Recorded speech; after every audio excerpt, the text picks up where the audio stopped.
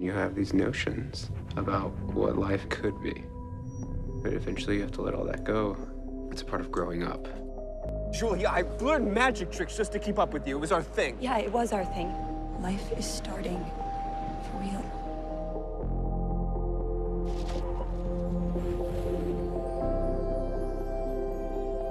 It is here that our story begins.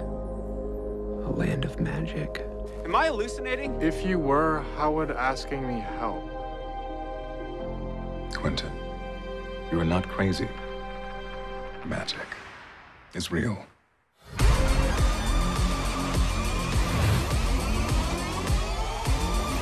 Do the goddamn magic! Stop it! Holy shit, I'm doing this. I cannot believe that I survived this long not knowing that I was a magician.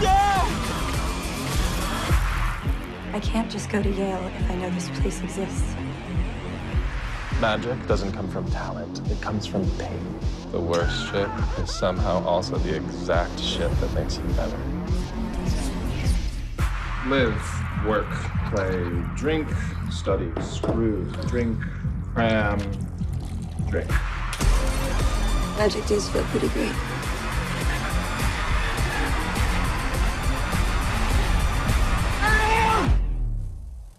Quentin Coldwater.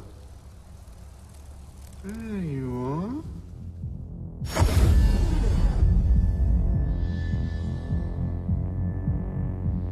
Now, let's see some magic.